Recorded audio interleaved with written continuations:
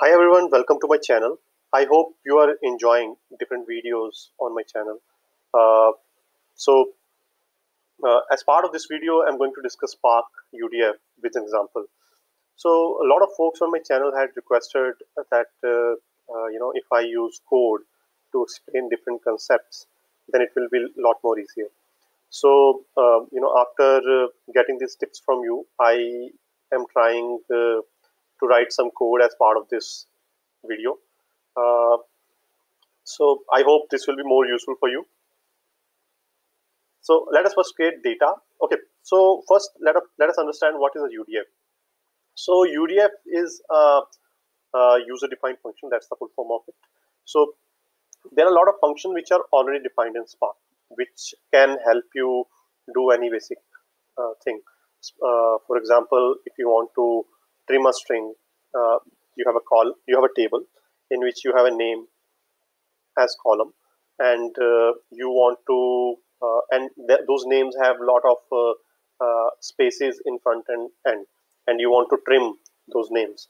So you can use trim function, or you know you can convert the name into uppercase if those names are in smaller case but in a lot of scenarios a uh, lot of uh, uh, you know day-to-day activities um, you know any functionality if you're trying to implement you may find a situation where the function that you want to use in spark sql or in your spark code that may not be provided by spark. You may like to define that function so that you your code can use it and your code can look more uh, uh, simplified. So uh, user-defined functions are used in that scenario. You can create your own functions to use in Spark code and to use in uh, Spark SQL also. So in this uh, video, we'll see example of how to do it. So uh, let us create some data first. So we have uh, two columns, identifier and text.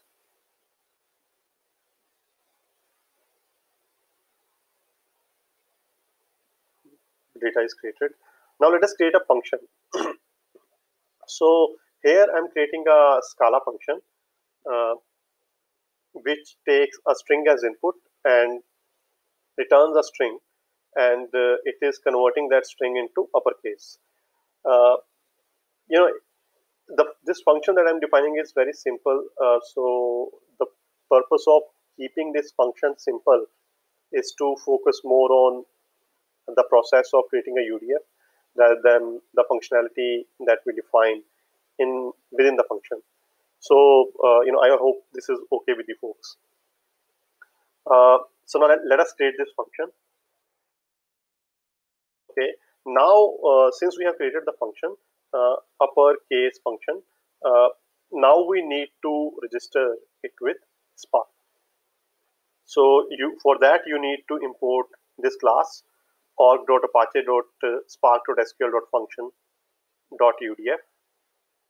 Once it is imported, you can register the function by just calling this UDF and passing it the function that you are interested in. On. Now we can use this function uh, within our code. So here I'm creating a new column uppercase and I'm using this function on text column. Cool. So I have created a new column uppercase and there are everything in that column is read from text column and converted into uppercase. Now let us try to use this uh, uppercase function in Spark SQL. For that, we have to register our uh, data frame as a table or view in Spark. So that I have done. Now, if I try to use it right away, I'll face an error. Okay, it says uppercase UDF is not defined. The function is neither registered in temporary functions or nor a permanent function registered in database.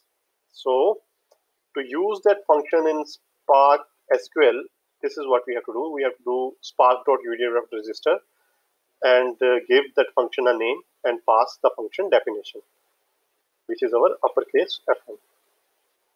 Cool. So now this function is registered with Spark SQL. We can also check the catalog of the functions. Cool. So uppercase function is what we defined and uh, you can see uh, it is showing up in the catalog. So uh, you may see that there are a lot of null values here. So this null, null value says that this function. So if you are if you have ever defined UDF in Java, then you know in Java you can define UDF in traditional way, like uh, you know you need to extend the class UDF class.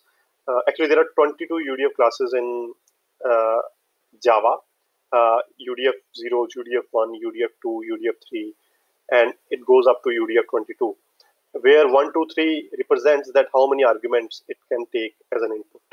So you can extend those classes in Java and define those functions, and then you can register those, those functions also as UDF.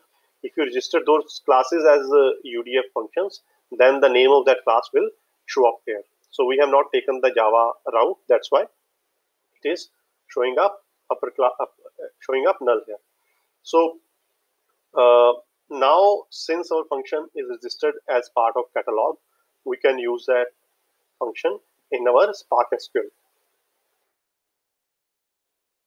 Good.